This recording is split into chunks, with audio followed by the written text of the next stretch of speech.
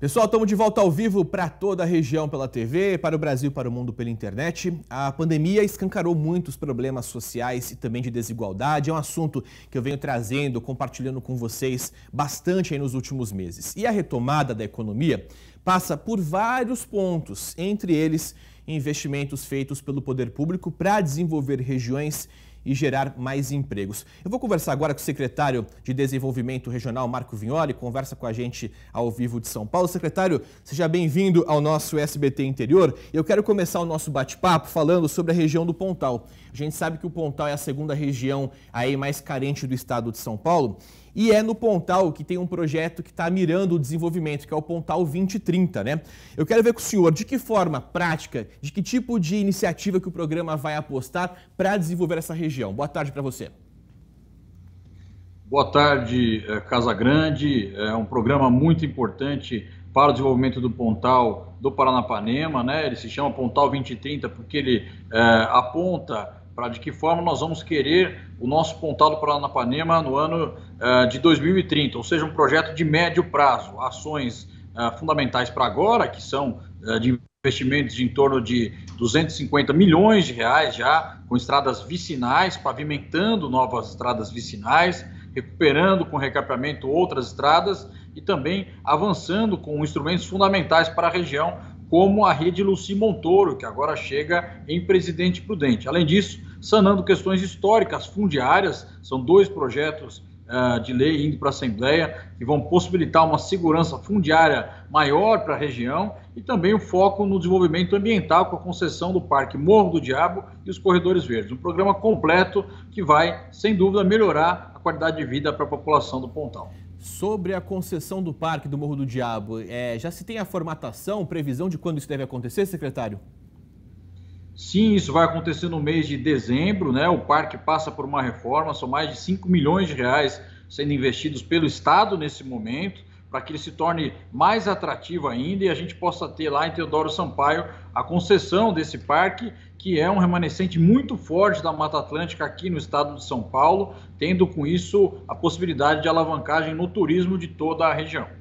A gente está falando de um projeto, como o senhor disse, a médio prazo, né, pensando aí na próxima década para a região do Pontal. Quando ele foi formatado, como que vocês enxergam? Qual a projeção que vocês fazem uh, do Pontal em 2030? Como que vai estar tá o Pontal daqui nove anos?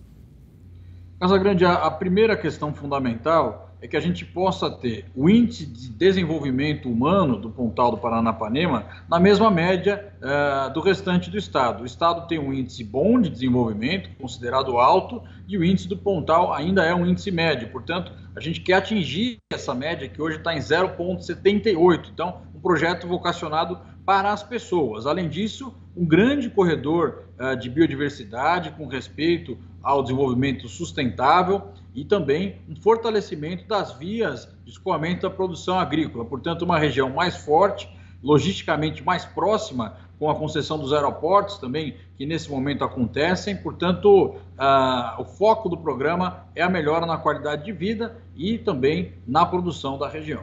Outro programa que está sendo desenvolvido aqui no estado, secretário, pensando em regiões aí com IDH baixo, por exemplo, é o programa voltado para a região do Vale do Ribeira, além de outros programas, uh, Vale do Paraíba, região sudoeste do estado. Né? Esse pacote de programas tem a mesma finalidade, tem esse olhar aí para o estado de São Paulo dos próximos anos?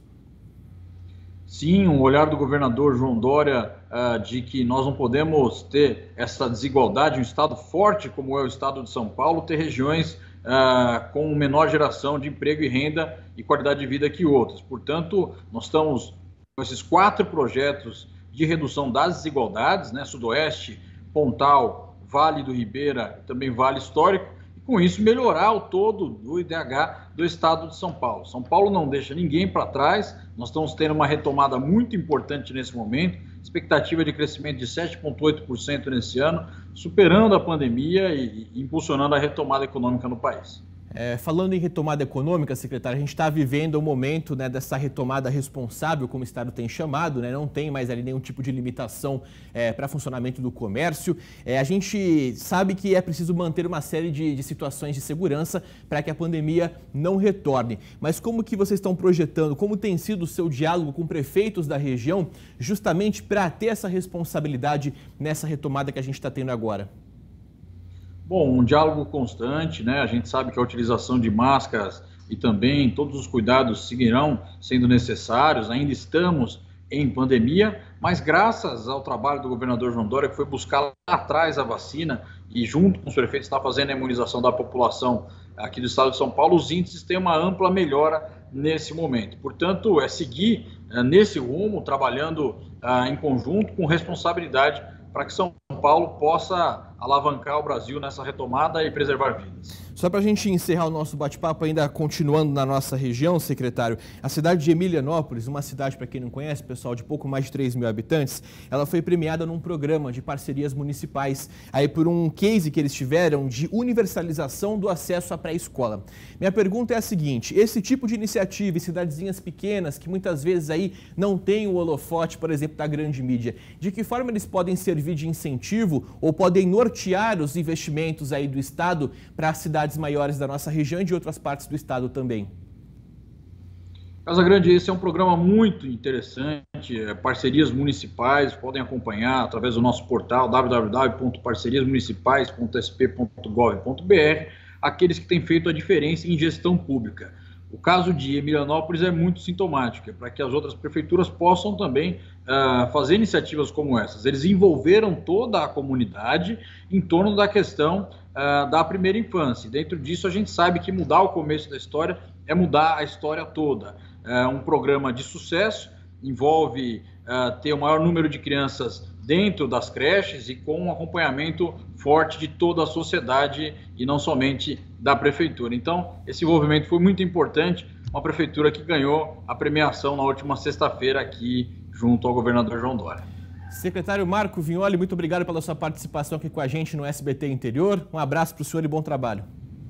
Eu que agradeço, Casa Grande, um abraço todo o SBT Interior, em nome aqui do nosso governador João Dória. Até a próxima, obrigado.